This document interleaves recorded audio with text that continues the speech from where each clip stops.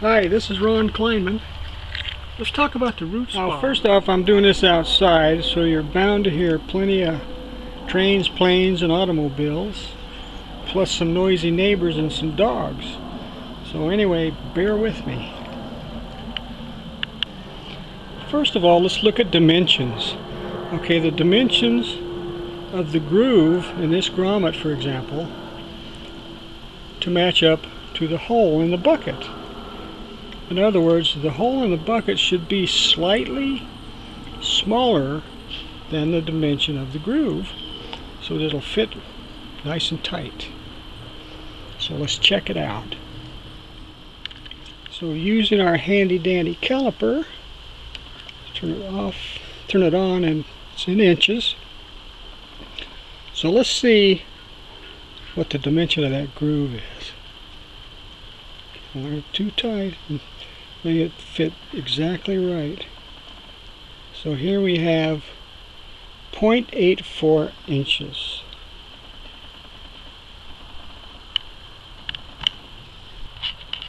So let's check the size of the hole in the bucket and see where we are.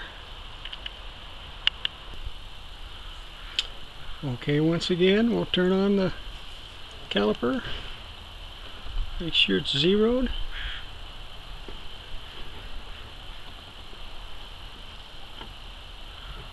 Expand it till it just touches.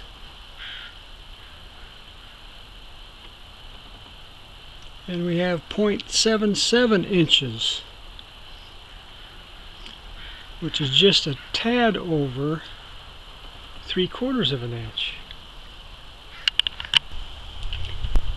So we're looking at a 0.77 inch hole and a 0.84 inch groove. That grommet is going to fit extremely tight. Probably too tight. A 13 16 inch hole will be equivalent to 0.8125 inches which would easily adapt and be a nice tight fit for the 0.87 inch groove. Plus it would be much easier to get it in the hole than this smaller hole. You can see the difference there. So how can we drill the perfect size hole? With a step drill.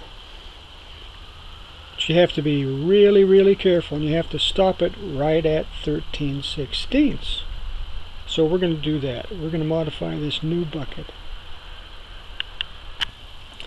You can also drill a brand new hole in a new bucket using this step bit.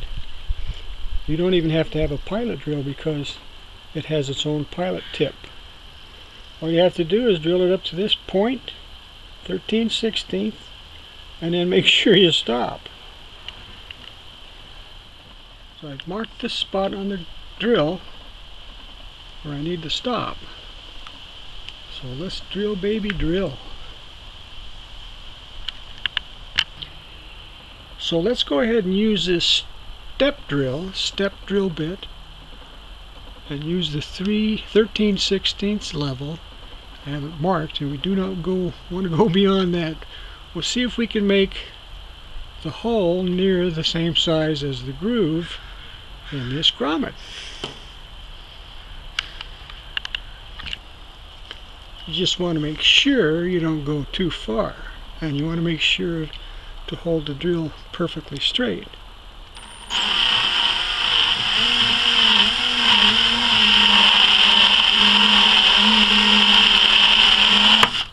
So there you go. It's a nice cut. I don't think I even have to use, well I'll use the burnishing tool a little bit. So we'll take our little burnishing tool and just make a circle. Nice and smooth for that grommet.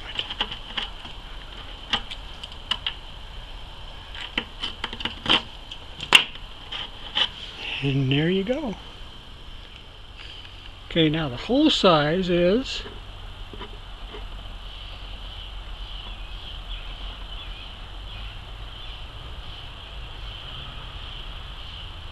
eight three inches. So we're just a teeny bit smaller than the groove and the grommet. Now it can either be the same size or a teeny bit smaller. cannot be bigger or it can move around in there and actually leak. Okay, let's put the grommet in. I usually use a little bit of soapy water or if it's mine I just use spit. It should press in rather hard but not too hard. There. Okay, that is totally in. Now you should not be able to move that any at all. Now once you put the elbow in, that's going to get even tighter. So here you go, a little more lubricant. Then you can just press it in, turn it a bit. It's nice and snug. So the opening in this uh, air hose adapter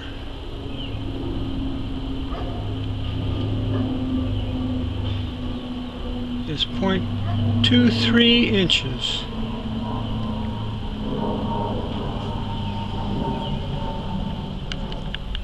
The air hose itself is 0.25 which is a quarter of an inch. So it's bigger than the inlet of the adapter.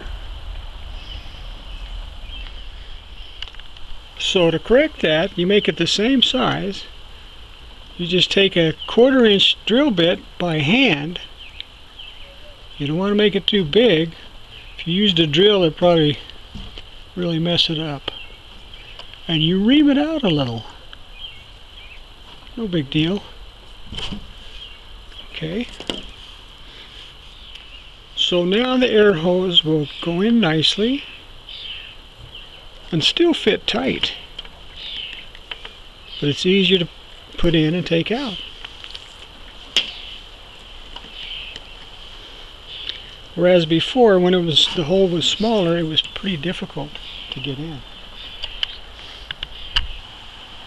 So let's sum it up.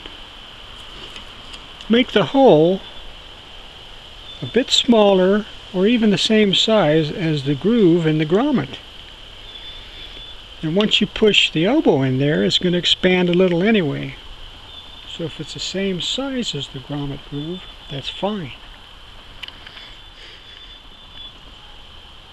Ream the air hose enough so that the, uh, I mean the adapter enough so that the air hose will slide in easily but still be tight enough not to leak. And there you have it. It's a piece of cake. That baby now is just about ready for action.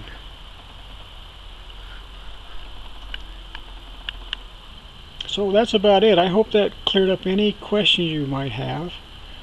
And uh, hopefully you'll buy a lot of these babies because these things are great and you can grow many many vegetative plants huge vegetative plants like basil genera but you can also grow blooded budding plants. Tomatoes I've grown tomatoes in these things and it works out great. So take care and thanks for watching